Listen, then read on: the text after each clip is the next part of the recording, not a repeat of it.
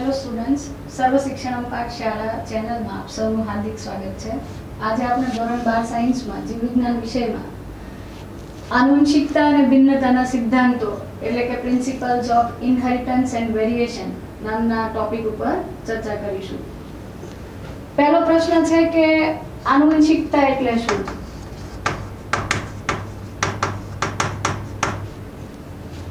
આનુવંશિકતા એટલે પિતૃ પેઢીના લક્ષણો જે છે એ સંતતિને વારસામાં મળવાની બાબત. પિતૃ પેઢીમાં રહેલા કેટલાક લક્ષણો જે છે એ મોટા ભાગે સંતતિને વારસામાં મળતા હોય છે. તો આ ઘટનાને આનુવંશિકતા અથવા વારસો તરીકે ઓળખવામાં આવે છે. હેરિડિટી અથવા આનુવંશિકતા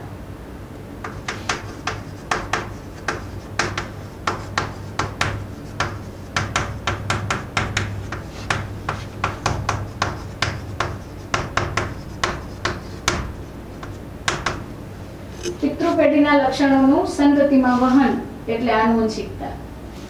પિતૃ પેઢીમાં રહેલા બધા જ લક્ષણો સંતતિને વારસામાં મળે એ જરૂરી નથી. પરંતુ સામાન્ય રીતે દરેક જાતિના સજીવોમાં એવું જોવા મળતું હોય છે કે સંતતિઓ મોટા ભાગે પિતૃઓને મળતી આવે છે. તો પિતૃઓ સાથે સંતતિ ઘણી બધી બાબતે સામા, સામ્યતા દર્શાવે છે. એના માટે જવાબદાર કોણ છે? તો આનુવંશિકતા. હવે આનુવંશિકતા જેવી જ બીજી બાબત છે. બીજી એક વ્યાખ્યા છે વારસાગમન વારસાગમન એટલે કે ઇનહેરિટન્સ આ બંનેમાં ફરક શું છે? આનુવંશિકતાનો અર્થ એવો થાય કે પિતૃપેઢીના લક્ષણો જે છે એ સંતતિમાં વહન પામે છે. જ્યારે વારસાગમન છે શું? આ બંને એકબીજાની સાથે સરખાવી શકાય અથવા સરખા લાગતા જ શબ્દો છે. છતાંય જરાક ફરક એ છે કે વારસાગમન એક પ્રક્રિયા છે. પ્રક્રિયા કે જેના દ્વારા, પ્રક્રિયા કે જેના દ્વારા પિતૃ પેઢીના લક્ષણો, પિતૃ પેઢીના લક્ષણો સંતતિમાં વહન પામે તે પ્રક્રિયાને વારસાગમન તરીકે ઓળખવામાં આવે છે. આનુવંશિકતા એક ઘટના છે. પિતૃપેઢીના લક્ષણો જે છે એ સંતતિમાં વહન પામે છે. આ બાબત એટલે આનુવંશિકતા જ્યારે જે પ્રક્રિયા દ્વારા આ ઘટના ઘટે છે, એ પ્રક્રિયાને વારસાગમન તરીકે ઓળખવામાં આવે છે. અને એટલે જ કહી શકાય કે સામાન્ય રીતે દરેક સજીવ જે છે, એનાથી સર્જાતી સંતતિ એના સાથે સામ્યતા ધરાવે છે. ઉદાહરણ તરીકે આપણે એવું કહીએ કે મરઘીનું ઈંડું જે છે એમાંથી બહાર નીકળતું બચ્ચું મરઘી સાથે સામ્યતા દર્શાવે છે. એવી જ રીતે હાથી જ્યારે બચ્ચાને જન્મ આપે છે તો એનું બચ્ચું હાથી સાથે સામ્યતા ધરાવે છે. અને સીધી વાત છે કે મનુષ્યના જે બાળકો છે એ મનુષ્ય જેવા હોય છે. તો દરેક જાતિના સભ્યોમાં આ સામાન્ય વસ્તુ છે કે પિતૃ પેઢી જેવા જ લક્ષણો સંતતિમાં જોવા મળે છે. પરંતુ શું સો એ સો ટકા લક્ષણો પિતૃ જેવા જ હોય કે પિતૃ કરતા કંઈક જુદા પણ હોય? હા, દરેક જાતિના સજીવોમાં સંતતિ પિતૃ સાથે મહદંશે સામ્યતા ધરાવે છે, પરંતુ આમ છતાં કેટલીક બાબતોમાં સંતતિ પિતૃ કરતા કેટલા જુદા લક્ષણો ધરાવતી હોય છે. તો એ બાબત જે છે, એને આપણે ભિન્નતા તરીકે ઓળખીએ છીએ. ભિન્નતા અથવા વેરિએશન. અહીંયા આપણે સ્પષ્ટતા કરી લઈએ કે ભિન્નતા અથવા વેરિએશનનો અર્થ શું લેવો? જુદાપણ લક્ષણોમાં જોવા મળતું જુદાપણ પણ. પૃથ્વી ઉપરના બધા જ સજીવો જેમ કે વનસ્પતિઓની અંદર લઈએ તો દ્વિઅંગી, ત્રિઅંગી, અનાવૃત બીજધારી, આવૃત બીજધારી. એવી જ રીતે પ્રાણી સૃષ્ટિમાં અનુપૂરક, સંધિપાદ કે સૂત્રકૃમિ કે મેરુદંડી. આ બધા પ્રાણીઓની અંદર કંઈક ને કંઈક લક્ષણોમાં એકબીજાથી જુદાપણું છે. તો એ જુદાપણાને આપણે ભિન્નતા કહી શકીએ? નહીં. એ જુદાપણું એટલે જૈવ વિવિધતા અથવા વિવિધતા, વૈવિધ્ય. જ્યારે ભિન્નતા એટલે એક જ જાતિના સજીવોમાં જોવા મળતું લક્ષણોનું જુદાપણું. તો પિતૃ પેઢી કરતા સંતતિમાં જુદાપણું છે એને આપણે કહીશું ભિન્નતા. એક જ જાતિના, એક જ જાતિના સજીવોમાં લક્ષણોના વૈવિધ્યને એક જ જાતિના સજીવો જે છે, એમાં લક્ષણોના વૈવિધ્યને અથવા લક્ષણો જે છે, એના જુદાપણાને ભિન્નતા અથવા વેરિએશન તરીકે ઓળખવામાં આવે છે. હવે આ જે ભિન્નતા છે, એ વધતે ઓછે અંશે બધામાં જુદી છે. કોઈક સજીવોમાં એવું બનતું હોય કે સંતતિમાં ખૂબ વધારે જુદાપણું છે. તો એ જ જાતિના અન્ય સજીવમાં સંતતિઓ છે પિતૃ સાથે ખૂબ સામ્યતા ધરાવતી હોય એવું બની શકે છે. તો ભિન્નતા એટલે એક જ જાતિના સજીવોમાં લક્ષણોનું જુદાપણું અથવા આપણે બીજા શબ્દમાં એમ પણ કહી શકીએ કે ભિન્નતા એટલે પિતૃઓ કરતા સંતતિમાં રહેલું લક્ષણોનું જુદાપણું આ ભિન્નતા જે છે એ સામાન્ય રીતે વૈજ્ઞાનિક દ્રષ્ટિકોણે જોઈએ તો સંતતિ અને પિતૃઓ વચ્ચે રહેલું લક્ષણો બાબતનું જુદાપણું. લક્ષણોનું જુદાપણું એટલે ભિન્નતા. હવે જે ભિન્નતા છે, એને આપણે બે ભાગોમાં વહેંચી શકીએ. કયા બે ભાગમાં વહેંચી શકાય? કે ભિન્નતા માટે જવાબદાર કોણ? તો ભિન્નતા સજીવોમાં બે પ્રકારની ભિન્નતા જવાબદાર હોઈ શકે જોવા મળે. દાખલા તરીકે, દૈહિક કોષોમાં જોવા મળતી ભિન્નતા અથવા દૈહિક કોષોના કારણે સર્જાતી ભિન્નતા છે. એને દૈહિક ભિન્નતા કહેવાય છે અથવા સોમેટિક વેરિએશન કહેવાય છે. આ દૈહિક કોષોના લીધે સર્જાતી અથવા દૈહિક કોષોમાં રહેલા જે જુદાપણાના અથવા લક્ષણોનું જુદાપણું છે, એ કાયમ વારસાગમન પામી શકતું નથી. તો દૈહિક ભિન્નતા એટલે દૈહિક કોષોમાં જોવા મળતી ભિન્નતા. હવે આ દૈહિક કોષો એટલે શું?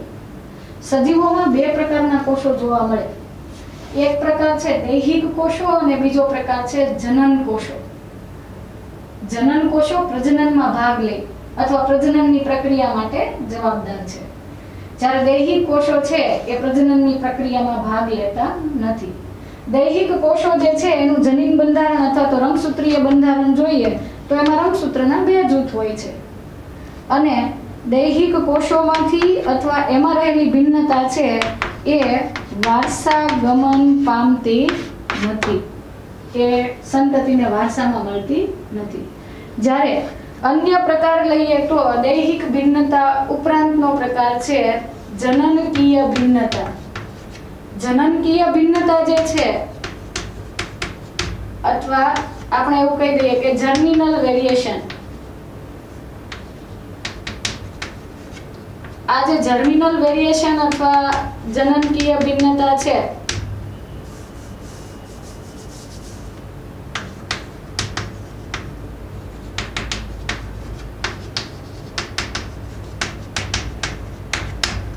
જનન અધિચ્છદીય કોષોમાં જોવા મળે છે. દાખલા તરીકે જનન અધિચ્છદીય કોષો એટલે અંડપિંડમાં રહેલા અંડમાતૃ કોષો જેમાંથી અંડકોષો બને.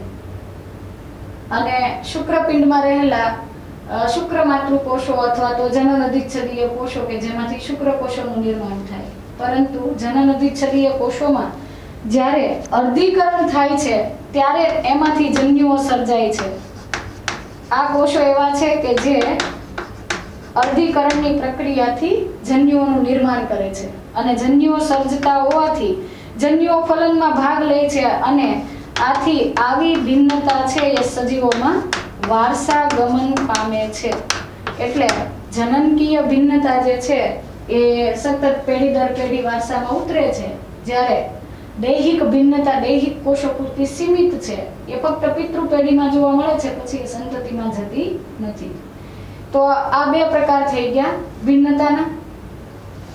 સામાન્ય રીતે આ ચેપ્ટરમાં આપણે મુખ્ય બે બાબતોની ચર્ચા કરવાના છીએ. એક તો આનુવંશિકતા અને બીજું ભિન્નતા. આ આનુવંશિકતા અને ભિન્નતા બંનેનો અભ્યાસ કરતી જીવ શાખાને જનીન વિદ્યા તરીકે ઓળખવામાં આવે છે. ચાલો તો વ્યાખ્યા લખી લઈએ. જનીન વિદ્યા અથવા જેનેટિક્સ જનીન વિદ્યા શું છે? જનીન વિદ્યા એ જીવ વિજ્ઞાનની શાખા છે કે જેમાં આનુવંશિકતા અને ભિન્નતાનું ચર્ચા કરવામાં આવે છે, એનો વિસ્તૃત અભ્યાસ કરવામાં આવે છે.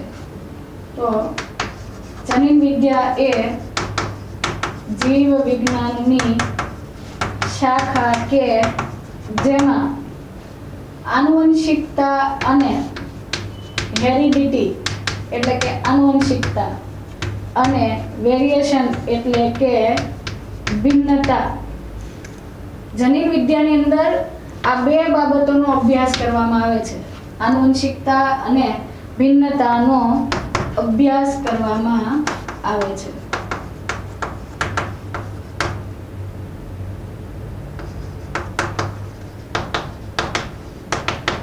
આ શાખાને જનીન વિદ્યા તરીકે ઓળખવામાં આવે છે. હવે જનીન વિદ્યા શબ્દ જે છે જીનેટિક્સ અથવા જનીન વિદ્યા શબ્દ, વિલિયમ બેટસન નામના વૈજ્ઞાનિકે આપ્યો હતો. વિલિયમ બેટસન દ્વારા ઓગણીસો ને છ માં જનીન વિદ્યા શબ્દ આપવામાં આવ્યો. એમણે આ જીનેટિક શબ્દ જે છે એનો અર્થ એવો બતાવ્યો હતો કે જીન જીન એટલે ટુ બીકમ અથવા હોવું. જીનેટિક્સનો અર્થ છે કે આપણે, આપણી અંદર જે કંઈ લક્ષણો છે, એનું વહન થવું અથવા એની વહનની પ્રક્રિયાનો અભ્યાસ કરતું એક શાસ્ત્ર. તો જીનેટિક્સ શબ્દ વિલિયમ બેટ્સને આપ્યો, પરંતુ જનીન વિદ્યાના પિતા વિલિયમ બેટ્સન નથી. વિદ્યાર્થી મિત્રો, તમે ધોરણ 10 માં પણ ગ્રેગર જોન મેન્ડલના આનુવંશિકતાના પ્રયોગો ભણી ચૂક્યા છો અને તમે જાણો છો કે ગ્રેગર જોન મેન્ડલે સૌપ્રથમ ગ્રેગર જોન મેન્ડલે સૌપ્રથમ વટાણાના છોડ પરના પ્રયોગો ઉપરથી આનુવંશિકતાને સમજાવવા માટે પ્રયત્ન કર્યો હતો. કેટલાક પોસ્ચ્યુલેટ એટલે કેટલાક સિદ્ધાંતો આપ્યા હતા, કેટલાક તારણો કાઢ્યા હતા અને એ બદલ ઘણા સમય પછી તેઓને જનીન વિદ્યાના પિતા તરીકેનું બિરુદ આપવામાં આવ્યું છે. બેટ્સન પછી મુલર નામના વૈજ્ઞાનિકે પણ એક નવી જીવવિજ્ઞાનની શાખા અથવા એક નવો શબ્દ આપ્યો, સાયટોજિનેટિક્સ. અહીંયા સાયટોજિનેટિક્સ બે શબ્દ ધરાવે છે. એક તો છે સાઇટો એટલે કે કોષ. અને બીજું તો જીનેટિક્સ એટલે કે જનીન વિદ્યા સાયટોજિનેટિક્સ એ પાછી જીનેટિક્સની બ્રાન્ચ છે, એની શાખા છે, જેમાં કોષીય સ્તરે જનીન વિદ્યાનો એટલે કે એને કોષીય જનીન વિદ્યા કહેવાય છે. અને આ કોષીય જનીન વિદ્યા શબ્દ વૈજ્ઞાનિક મુલર દ્વારા આપવામાં આવ્યો છે. વૈજ્ઞાનિક મુલરને હાલમાં એક્ટિનોબાયોલોજીના પિતા કહેવામાં આવે છે. મુલરના મત મુજબ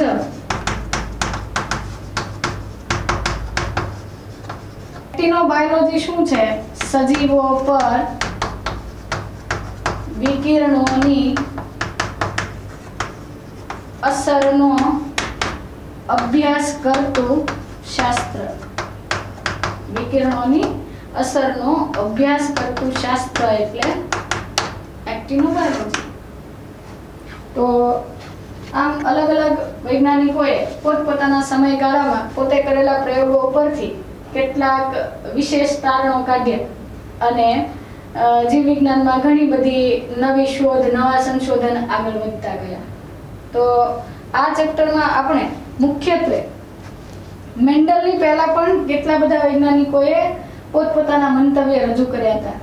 તો મુખ્યત્વે આ યુનિટમાં આપણે ત્રણ બાબતોની ચર્ચા કરશું. મેન્ડલની પહેલાં જે થિયરી અથવા સિદ્ધાંતો આવ્યા, એને આપણે કહીશું પૂર્વ મેન્ડલવાદ. પ્રી મેન્ડેલિયન થિયરીઝ અથવા પ્રી મેન્ડેલિયન કન્સેપ્ટ્સ કેટલાક તત્વજ્ઞાનીઓએ પોતપોતાના મંતવ્ય રજૂ કર્યા હતા આનુવંશિકતા માટે. ત્યારબાદ મેન્ડલે જે સિદ્ધાંત આપ્યો, એને આપણે કહીશું મેન્ડલવાદ. અને મેન્ડલના સંશોધનો પછી એમને અનુસરીને કેટલાક પ્રયોગો પરથી નવા તારણો મળ્યા. એના માટે આપણે લઈશું પશ્ચ મેન્ડલવાદ પૂર્વ મેન્ડલવાદ મેન્ડલની પહેલાના વૈજ્ઞાનિકોનું કન્ટ્રીબ્યુશન છે. મેન્ડલવાદ એ મેન્ડલે કરેલા પ્રયોગો, એના તારણો અથવા એના પોસ્ચ્યુલેટ્સ અને એમાં એમને મળેલી સફળતા અને નિષ્ફળતા. અને ત્યાર પછી પશ્ચિમ મેન્ડલવાદમાં મેન્ડલને અનુસરીને એમના કાર્ય ઉપરથી પ્રેરણા મેળવી અને અન્ય વૈજ્ઞાનિકોએ જે કન્ટ્રીબ્યુશન આપ્યું, એમણે જે ફાળો આપ્યો, એમણે જે પ્રયોગો કર્યા અને નવા તારણો જે મળ્યા, એની ચર્ચા આપણે કરીશું. તો સૌથી પહેલા પૂર્વ મેન્ડલવાદ અથવા પ્રી મેન્ડેલિયન થિયરીઝ અથવા કોન્સેપ્ટ્સ મેન્ડલના પહેલા જે વૈજ્ઞાનિકો થઈ ગયા, એમાંથી ઘણા બધા વૈજ્ઞાનિકોએ આનુવંશિકતા અને ભિન્નતા માટેની બાબતો સમજાવવા પ્રયત્ન કર્યો. કેટલાક વૈજ્ઞાનિકો એવું માનતા હતા કે લિંગી પ્રજનનના કારણે નવી સંતતિ સર્જાય છે. પરંતુ એ નવી સર્જાતી સંતતિમાં જુદાપણું કેમ છે અથવા પિતૃ જેવા લક્ષણો કેમ છે એ સ્પષ્ટપણે તેઓ સાબિત કરી શક્યા નહોતા. હાલમાં ટેકનોલોજી વિકસી અને આપણે પ્રી નેટલ ડાયગ્નોસિસ એટલે કે ગર્ભ વિકાસ દરમિયાન જે વિકસતો ગર્ભ છે એનું પરીક્ષણ કરવાની કેટલી બધી ટેકનિક્સ એડવાન્સ થઈ ગઈ. અને એના ઉપરથી આપણે વિકસતા ગર્ભમાં કોઈ ખામી અથવા તો કોઈક રોગ છે તો એ પણ જાણી શકીએ છીએ. જ્યારે ઓગણીસમી સદીમાં આટલી બધી સુવિધાઓ નહોતી. એ સમયે ઓગણીસમી સદીના મધ્ય ભાગમાં ગ્રેગર જોન મેન્ડલે આનુવંશિકતા ઉપર ઘણી બધી બાબતો સમજાવવા માટે પ્રયત્ન કર્યો. પરંતુ એના પહેલા, ગ્રેગર જોન મેન્ડલના પહેલા, કેટલાક વૈજ્ઞાનિકો લિંગી પ્રજનન બાબતે અથવા સંતતિમાં પિતૃ કરતા જુદા કે પિતૃ જેવા લક્ષણો માટે શું જવાબદાર છે? એના ઉપર ઘણી બધી અલગ અલગ પૂર્વધારણાઓ ધરાવતા હતા. અલગ અલગ પોતપોતાના મંતવ્ય ધરાવતા હતા. તો એની વાત છે, પૂર્વ મંડલવાદમાં પહેલી થિયરી લઈએ આપણે. Moist vapour theory moist vapour theory અથવા મોઇસ્ટ વેપર કન્સેપ્ટ ગુજરાતીમાં લખું તો બાષ્પ તરલવાદ બાષ્પ તરલવાદ જે છે એ ગ્રીક તત્વજ્ઞાની પાયથાગોરસે આપ્યો હતો. પાયથાગોરસના મત મુજબ તેઓ એવું માનતા હતા કે પ્રજનનની પ્રક્રિયામાં સામાન્ય રીતે મૈથુન ક્રિયા દરમિયાન નર અને માદા જે સજીવો છે, એના શરીરના વિવિધ ભાગો, ખાસ કરીને મગજ, એમાંથી કેટલીક એવી બાષ્પ ઉત્પન્ન થાય છે. અને એ બાષ્પ જ્યારે માતાના શરીરમાં એકત્રિત થાય છે, જમા થાય છે, ત્યારે એમાંથી સંતતિ સર્જાય છે અને પરિણામે સર્જાયેલી સંતતિ માતા અને પિતા બંનેના લક્ષણો ધરાવે છે. એના ઉપરથી આ થિયરી અથવા કોન્સેપ્ટનું નામ પડ્યું મોઇસ્ટ વેપર થિયરી તો પિતૃઓ જે છે, પિતૃઓના, પાયથાગોરસના મત મુજબ પિતૃઓના શરીરના વિવિધ ભાગો, ખાસ કરીને મગજમાંથી પ્રજનન અથવા મૈથુન ક્રિયા દરમિયાન ખાસ પ્રકારની બાષ્પ ઉત્પન્ન થાય છે. આ બાષ્પ માતાના શરીરમાં એગ્રીગેટ થાય અથવા તો ઘનીભવન પામે અથવા એકત્રીકરણ પામે. અને માતાના શરીરમાં તેનું એકત્રીકરણ થવાથી સર્જાતી સંતતિ અથવા નવી સર્જાતી સંતતિ જે છે, એ માતા અને પિતા બંનેના લક્ષણો ધરાવે છે. જો કે આ થિયરી સર્વ સ્વીકૃત નથી. આમ છતાં એમના આ સંશોધન અથવા તો એમના મંતવ્ય પછી ઘણા અન્ય વૈજ્ઞાનિકોને વધારે ડિટેલમાં સંશોધન કરવાની પ્રેરણા મળી હતી. એટલે આપણે આ થિયરી લીધી છે. મોઇસ્ટ વેપર થિયરી પછી બીજી થિયરી છે reproductive blood theory reproductive blood concept અથવા થિયરી પ્રાજનનિક રુધિરનો સિદ્ધાંત પ્રાજનનિક રુધિરનો સિદ્ધાંત અથવા પ્રાજનનિક રુધિરવાદ આ થિયરી જે છે, આ સિદ્ધાંત જે છે, એ પણ ગ્રીક તત્વજ્ઞાની એરિસ્ટોટલ દ્વારા આપવામાં આવ્યો હતો. ગ્રીક તત્વજ્ઞાની એરિસ્ટોટલ એવું માનતા હતા કે પ્રજનનની પ્રક્રિયા માટે અથવા પ્રજનનની ક્રિયામાં નર અને માદા બંનેના શરીરમાં એક રિપ્રોડક્ટિવ અથવા પ્રાજનનિક રુધિર બને છે. જેમાંથી એમણે એવું સૂચવ્યું કે નર જે છે એટલે કે નર પિતૃ જે છે, એમાંથી શુદ્ધ પ્રાજનનિક રુધિર બને છે.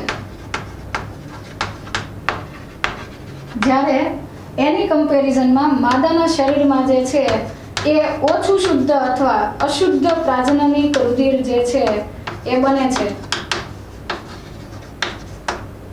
અને ત્યાર પછી આ શુદ્ધ પ્રાજનનિક રુધિર, પિતાનું શુદ્ધ પ્રાજનનિક રુધિર અને માતાનું અશુદ્ધ પ્રાજનનિક રુધિર જે છે, એ ફલનની પ્રક્રિયા દરમિયાન માતાના શરીરમાં ભેગું થશે અથવા તો સંમિલિત થશે. પ્રાજનનિક રુધિર જે છે, એ ફલનની પ્રક્રિયા દરમિયાન માતાના શરીરમાં એકત્રિત થાય છે. અને ત્યાર પછી આ ફલનની પ્રક્રિયા થયા બાદ એમાંથી ગર્ભ અથવા ભ્રૂણ બનશે અને એને અનુસરીને નવી સંતતિ સર્જાશે. બીજી બાબત એ પણ નોંધવા જેવી છે કે એરિસ્ટોટલ પોતે એવું માનતા હતા કે નર અને માદા એટલે કે માતા અને પિતા પૈકી પિતાના શરીરમાં શુદ્ધ પ્રજનનિક રુધિર સર્જાતું હોવાથી પ્રજનન માટે વધારે ફાળો આપે છે. એટલે કે પિતા જે છે એ લક્ષણો બાબતે, પિતા જેવા લક્ષણો સંતતિમાં વધુ આવે છે. એટલે પિતાનું મહત્વ પ્રજનનની દ્રષ્ટિએ વધારે છે એવું તેઓ સમજતા હતા. તો ફરીથી યાદ કરાવું, પૂર્વ મેન્ડલવાદમાં પહેલી થિયરી હતી મોઇસ્ટ વેપર થિયરી, એટલે કે બાષ્પ તરલવાદ જે પાયથાગોરસ દ્વારા આપવામાં આવ્યો હતો. એમણે શું સૂચવ્યું? કે પ્રજનનની ક્રિયા દરમિયાન પિતૃના શરીરમાં રહેલા વિવિધ ભાગોમાં, ખાસ કરીને મગજમાંથી. એક બાષ્પ ઉત્પન્ન થાય છે. આ બાષ્પ જે છે એ માતાના શરીરમાં એગ્રીગેટ થાય અથવા એકત્રિત થાય અને ત્યાર પછી એમાંથી નવી સંતતિ સર્જાય છે અને પરિણામે સર્જાતી સંતતિમાં બંનેના લક્ષણો હોય છે. બીજી તરફ એરિસ્ટોટલે પ્રાજનનિક રુધિર સિદ્ધાંત આપ્યો અથવા પ્રાજનનિક રુધિરવાદ આપ્યો. એમણે એવું કીધું કે પિતાના શરીરમાં શુદ્ધ પ્રાજનનિક રુધિર બને છે અને માતાના શરીરમાં અશુદ્ધ પ્રાજનનિક રુધિર બને છે. આ બંને રુધિર શુદ્ધ અને અશુદ્ધ રુધિર ફલનની ક્રિયામાં ભેગા થાય છે, મિશ્ર થાય છે અને ત્યાર પછી ભ્રૂણ બને છે, સંતતિ સર્જાય છે અને એટલે બંને સજીવો એટલે કે બંને પિતૃઓના લક્ષણો એક જ સંતતિમાં મિશ્ર થાય છે. ત્યાર પછી સ્વામર્દમ નામના વૈજ્ઞાનિકે આ બંને કરતા કંઈક જુદી બાબતોનું વર્ણન કર્યું છે.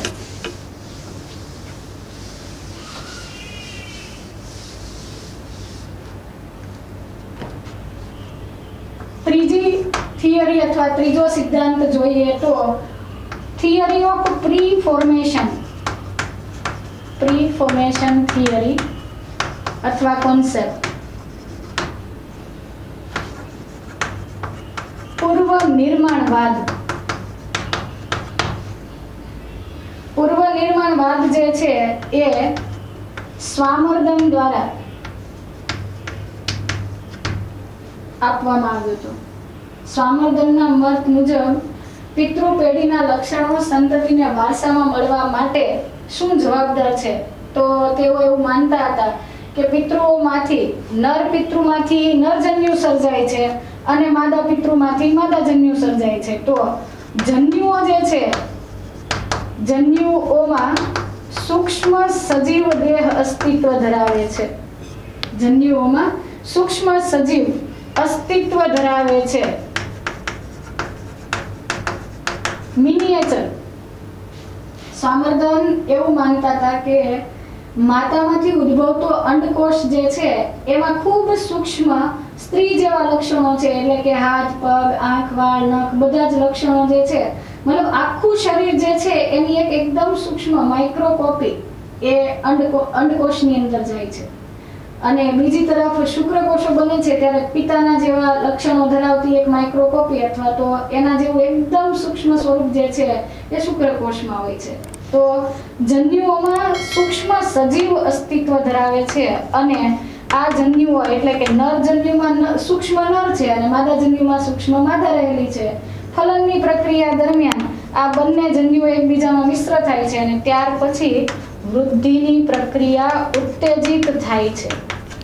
સ્વામર્દનના મત મુજબ જેવું ફલન થાય છે એટલે ફલિતાંડ બને છે અને ત્યાર પછી વૃદ્ધિની પ્રક્રિયા ખૂબ ઝડપે આગળ વધે છે અને એમાંથી ભ્રૂણ બને છે અને બાદમાં સંતતિ સર્જાય છે. અને સર્જાતી સંતતિ બંને પિતૃ જેવા લક્ષણો ધરાવે છે. ત્યાર પછી ચોથી થિયરી જે છે, એને ચોથો જે સિદ્ધાંત છે, એને આપણે કહીશું theory of pangenesis. Theory of pangenesis અથવા પાનજીનેસિસ. પેનજીનેસિસ પેનજીનેસિસ વાદ અથવા પેનજીનેસિસ થિયરી જે છે એ ડાર્વિને આપી હતી. ડાર્વિન એ સામર્દન કરતા થોડું જુદું કહેતા હતા. એમના મત મુજબ પિતૃ પેઢીના દરેક લક્ષણો સંતતિમાં જાય છે વધતે ઓછે અંશે એના માટે શું જવાબદાર છે? તો એમણે એવું સમજાવ્યું કે દરેક અંગનું નિર્માણ કરવા માટે જે તે અંગમાંથી સૂક્ષ્મ કણો બને છે. હાથ બનવા માટેના સૂક્ષ્મ કણો હાથમાંથી જઠર માટેના સૂક્ષ્મ કણો, જઠરમાંથી આંખમાંથી બધા જ અંગોમાંથી એ અંગ બનવાની માહિતી ધરાવતા સૂક્ષ્મ કણો, જેમ્યુલ્સ અથવા તો પેન જીન્સ કીધા એને. તો એ સૂક્ષ્મ કણો દરેક અંગમાંથી અંડકોષ કે શુક્રકોષમાં જાય. માતાના શરીરના દરેક ભાગમાંથી એવા સૂક્ષ્મ કણો છેલ્લે અંડકોષમાં જાય. અને પિતાના શરીરમાંથી એવા સૂક્ષ્મ કણો અથવા દરેક ભાગના નિર્માણની માહિતી ધરાવતા પેન જીન્સ શુક્રકોષમાં જાય. ત્યાર પછી ફલન થાય અને ફલિતાંડ બને. આ માતા અને પિતામાંથી આવેલા બધા જે પેન જીન્સ અથવા તો જેમ્યુલ્સ છે, એ ફલિતાંડમાં ગયા પછી તેઓ ત્યાં અભિવ્યક્ત થઈ અને દરેક ભાગના નિર્માણની માહિતી સૂચવે છે. તો આ થઈ ગઈ પેન જીનેસિસ થિયરી ડાર્વિનના મત મુજબ માતા અને પિતાના શરીરના દરેક ભાગમાંથી જે તે ભાગનું નિર્માણ કરવાની માહિતી ધરાવતા સૂક્ષ્મ કણો સર્જાય છે. આ સૂક્ષ્મ કણોને એમણે શું નામ આપ્યું? આ સૂક્ષ્મ કણોને તેમણે જેમ્બ્યુલ્સ અથવા પેન જીન્સ નામ આપ્યું. આ પેન જીન્સ અથવા તો ખૂબ સૂક્ષ્મ કણો વહન પામી, સ્થળાંતરણ પામી અને પ્રજનન કોષોમાં જાય છે. એટલે કે જન્યુમાં જાય છે. ત્યાર પછી જન્યુઓનું ફલન થવાથી એ સંતતિમાં વારસાગમન માટે જવાબદાર બને. તો વિદ્યાર્થી મિત્રો, આપણે ચાર સિદ્ધાંતો ભણ્યા પૂર્વ મેન્ડલવાદમાં મેન્ડલના પહેલા ચાર અલગ અલગ એમ તો ઘણા બધા વૈજ્ઞાનિકોએ ઘણી બધી બાબતો બતાવી, પણ આ ચાર મુખ્ય છે, જેમાં પહેલી થિયરી ભણ્યા આપણે મોઇસ્ટ વેપર થિયરી એટલે કે બાષ્પ તરલવાદ. બાષ્પ તરલવાદની થિયરીમાં પાયથાગોરસે એવું કીધું કે સજીવોમાં, પિતૃઓમાં પ્રજનન દરમિયાન કંઈક બાષ્પો ઉત્પન્ન થાય છે બધા ભાગોમાંથી અને એ બાષ્પમાંથી સંતતિ સર્જાય છે. બીજી થિયરી આપણે ભણ્યા એરિસ્ટોટલે આપી, રિપ્રોડક્ટિવ બ્લડ થિયરી, એટલે કે પ્રજનની રુધિર સિદ્ધાંત. એરિસ્ટોટલ એવું માનતા હતા કે પ્રજનનની પ્રક્રિયામાં પિતાનો ફાળો વધારે છે. સંતતિમાં પિતૃઓના લક્ષણો આવતા હોય. પણ બંને પિતૃઓ કરતા માતાની કમ્પેરિઝનમાં પિતાના લક્ષણો છે એ સંતતિમાં વધુ આવશે, એવું એરિસ્ટોટલ કહેતા હતા. ત્યાર પછી પૂર્વ નિર્માણવાદ અથવા પ્રી ફોર્મેશન થિયરી જે છે એ સ્વામર્દમ નામના વૈજ્ઞાનિકે આપી અને એમણે તો બધા કરતા જુદું કીધું કે અંડકોષ અને શુક્રકોષ એટલે કે પ્રજનન કોષો જે છે, જન્યુઓ જે છે, જન્યુઓમાં સૂક્ષ્મ સજીવ અસ્તિત્વ ધરાવે છે. એટલે કે નર જન્યુ લઈએ, શુક્રકોષ લઈએ તો એમાં સૂક્ષ્મ નર અથવા સૂક્ષ્મ નર જાતિના લક્ષણો છે. શુક્રકોષ જે છે એમાં નર પિતૃના લક્ષણો ધરાવતું એક સૂક્ષ્મ સ્વરૂપ એટલે કે પિતાની એક માઇક્રોકોપી જાય છે શુક્રકોષમાં. જ્યારે અંડકોષમાં માતા જેવી એક માઇક્રોકોપી એટલે માતાના શરીરના બધા જ ભાગો અને દરેક બાબતો ધરાવતું એક સૂક્ષ્મ સ્વરૂપ જે છે એ એટલે અંડકોષ અને એ બંનેનું સંમિલન થાય, ફલન થાય અને એમાંથી વૃદ્ધિની પ્રક્રિયા ઝડપી બની અને સંતતિ સર્જાય. જ્યારે થિયરી ઓફ પેનજીનેસિસ એ ડાર્વિને આપી હતી, એમના મત મુજબ માતા પિતાના દરેક ભાગમાંથી સૂક્ષ્મ કણો એટલે કે જેમ્યુલ્સ સર્જાય છે. જેમ્યુલ્સને એમણે પેન જીન્સ કીધા કે દરેક ભાગ પોતપોતાના જેવા નવા ભાગનું નિર્માણ કરવાની માહિતી ધરાવતો એક સૂક્ષ્મ કણ છે, એ જન્યુમાં મોકલે છે. આવા જન્યુઓ ફલનની ક્રિયા દરમિયાન એકબીજામાં સંમિશ્રિત થઈ ફલિતાંડ બનાવે છે અને પરિણામે સર્જાતી સંતતિમાં માતા અને પિતાના બંનેના લક્ષણો જોવા મળે છે. આ બધી જ જે થિયરીઓ છે, પૂર્વ મેન્ડલવાદની ચાર થિયરીઓ. એક તો બાષ્પ તરલવાદ, એટલે કે મોઇસ્ટ વેપર થિયરી જે પાયથાગોરસે આપી હતી. બીજો સિદ્ધાંત હતો રિપ્રોડક્ટિવ બ્લડ થિયરી એટલે કે પ્રાજનનિક રુધિરવાદ ત્રીજો સિદ્ધાંત આપ્યો તો સ્વામર્દમે પૂર્વ નિર્માણવાદ અને ચોથો સિદ્ધાંત આપ્યો હતો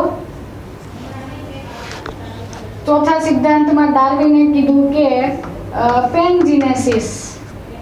પેનજીનેસિસ વાદ જેમ્યુલ્સથી પ્રજનન થાય છે અને સંતતિમાં લક્ષણો જાય છે. આ ચારે ચાર સિદ્ધાંતો અથવા પૂર્વ મેન્ડલવાદની આ બધી જ થિયરીને બ્લેન્ડિંગ ઇનહેરિટન્સ કહેવાય છે. ઇનહેરિટન્સ એટલે વારસાગમન પણ બ્લેન્ડિંગ એટલે શું? બ્લેન્ડિંગ એટલે મિશ્ર થવું. જો કે આ ચારે ચાર થિયરી જે છે, ચારે ચાર સિદ્ધાંતો જે છે, એ અસ્વીકૃત છે. તો એના માટેની જવાબદાર ખામીઓ શું? શા માટે આ થિયરીને કોઈએ સ્વીકારી નથી? તો એનું પહેલું કારણ છે, આ ચારે ચાર સિદ્ધાંતો અથવા બ્લેન્ડિંગ ઇનહેરિટન્સ છે, એની મુખ્ય બે મર્યાદાઓ છે. એમાંનું પહેલું કે બ્લેન્ડિંગ ઇનહેરિટન્સ એવું માનતો હતો કે પિતૃ પેઢીના લક્ષણો પિતૃ પેઢીના લક્ષણો સંતતિમાં મિશ્ર થાય છે. આ મિશ્ર થવાની બાબત જે છે, એને જ કહેવાય બ્લેન્ડિંગ તો બધી વખત એવું નથી થતું કે બધા લક્ષણો મિશ્ર થાય. ઉદાહરણ આપું તમને કે એક પુરુષ છે, એનો ત્વચાનો રંગ ઘણો ઘેરો અથવા કાળો છે. એ એક એવી સ્ત્રી સાથે લગ્ન કરે છે કે જેની ત્વચાનો રંગ ખૂબ ગોરો છે. તો એના જેટલા પણ બાળકો એટલે કે એની જેટલી પણ સંતતિ સર્જાય, એ કાળો પણ નહીં અને ગોરો પણ નહીં, મધ્યમ રંગ ધરાવતા હોય. એવું બને. એવું બનવું જોઈએ એમ, પરંતુ દરેક વખત એવું બનતું નથી. બધા જ લક્ષણો જે છે પિતૃ પેઢીના લક્ષણો સંતતિમાં મિશ્ર જ થાય એવું બનતું નથી. તો પહેલું ઉદાહરણ કે આ મિશ્ર થાય છે, એ બાબત ખોટી છે, એમાં આપણે પહેલું ઉદાહરણ લઈ શકીએ. મનુષ્યમાં ત્વચાનો રંગ. મનુષ્યમાં ત્વચાનો રંગ છે, એ માતા અને પિતાના ત્વચાના રંગના મિશ્રણથી બને એવો જ રંગ આવે એવું કહી શકાતું નથી. બીજું આનું જ ઉદાહરણ લઈ લઈએ આપણે તો એકલિંગી સજીવોનું લિંગ નિશ્ચય. એકલિંગી સજીવોનું લિંગ નિશ્ચયન એટલે કે જો આપણે એવું કહેતા હોઈએ કે પિતૃ પેઢીના લક્ષણો સંતતિમાં વારસાગમન પામે ત્યારે બ્લેન્ડિંગ થાય, એટલે કે તેઓ મિશ્ર થાય. તો એકલિંગી સજીવો જે છે, એમાં નર સજીવ સ્વતંત્ર છે અને માદા સજીવ સ્વતંત્ર છે. તો નર અને માદા સજીવમાંથી સર્જાયેલા જન્યુઓનું મિલન થઈને જે સંતતિ બની, ફલનથી.